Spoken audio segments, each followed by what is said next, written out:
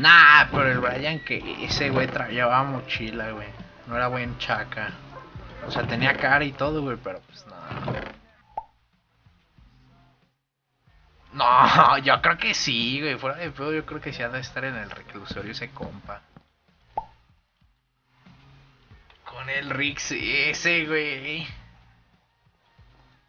¿Cómo se llamaba la pendeja que metieron a la cárcel? Ajá, lo del Nah, pero a mí no me han metido, güey. Yo tengo un chingo.